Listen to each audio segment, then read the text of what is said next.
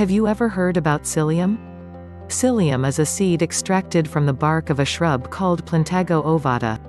With a high concentration of soluble fiber and mucilage, psyllium offers an infinity of health benefits.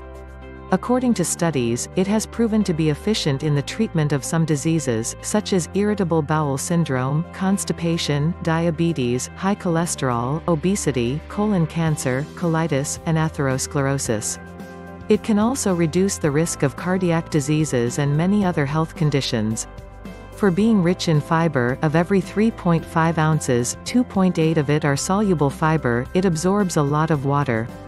It forms a gelatinous mass that cleans the intestinal walls, carries toxins and residues through the colon, and has a great laxative effect, without causing diarrhea or abdominal pains.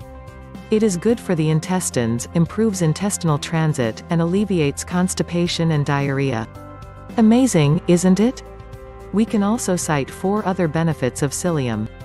To get all these benefits, it's recommended to ingest 9 grams of psyllium a day, at any time of the day, with or without a meal. The overconsumption of psyllium may cause gas and bloating in some people. And even though it is rare, there are some allergic reactions to the fiber. Besides that, it is very important to not forget to stay well hydrated. Pregnant women and children must only use psyllium under professional orientation. The same is valid for debilitated people, or those with bad health.